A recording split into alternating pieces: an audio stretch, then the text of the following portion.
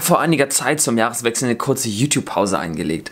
Und ich ganz ehrlich bin, ich habe mich gerade stark hinterfragt, ob und wie ich mit diesem Projekt überhaupt weitermachen kann.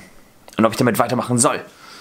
Und genau in diesem Moment, wo ich denke, okay, jetzt, ihr habt gesagt, bis zu dem Zeitpunkt treffe ich die Entscheidung, ihr seht es selber, geht mir die Kamera kaputt.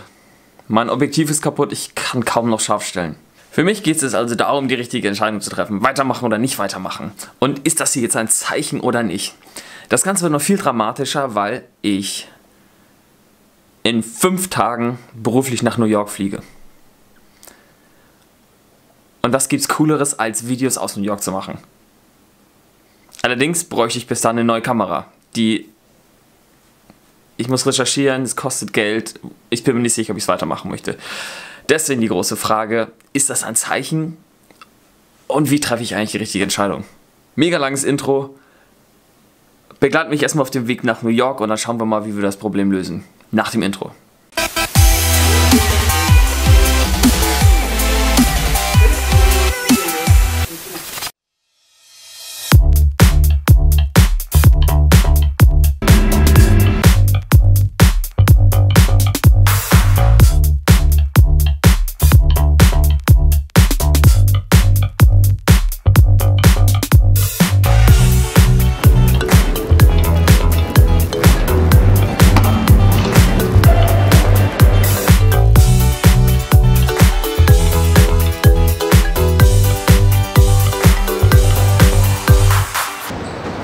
Bin jetzt am Flughafen angekommen und ich muss sagen, ich liebe diesen Moment, bevor die Reise so richtig losgeht. Man ist auf dem Weg zur Reise, aber noch nicht so richtig im, Urlaub oder auf seinem Trip.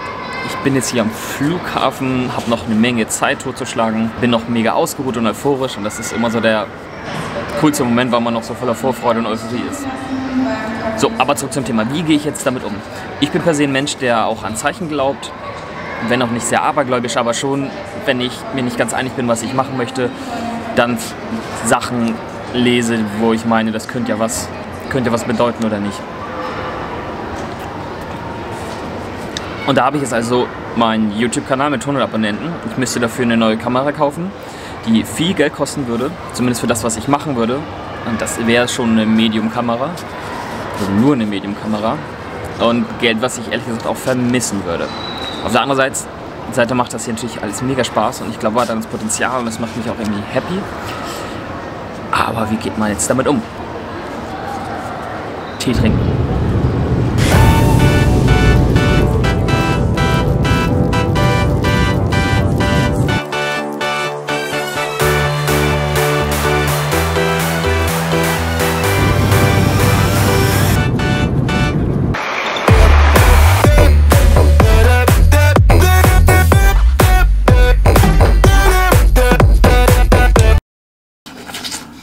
Frage wirkt so mega simpel, ist aber total kompliziert. Und vor allem ist sie anstrengend.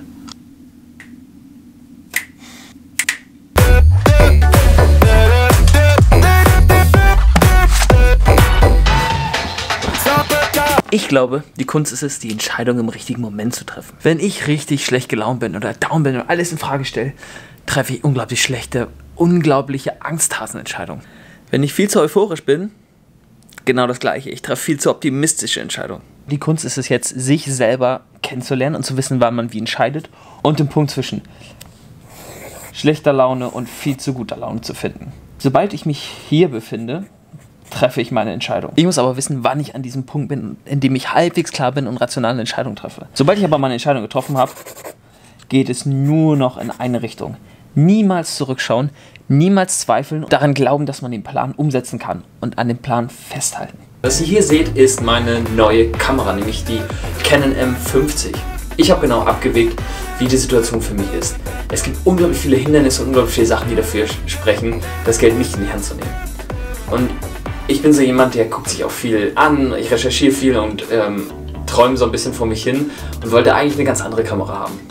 Heißt für mich, was ich festgestellt habe, ja, ich möchte weitermachen, aber es muss nicht das mega teure Equipment sein, sondern ich habe das rausgesucht, was rational wirklich zu meiner aktuellen Situation passt.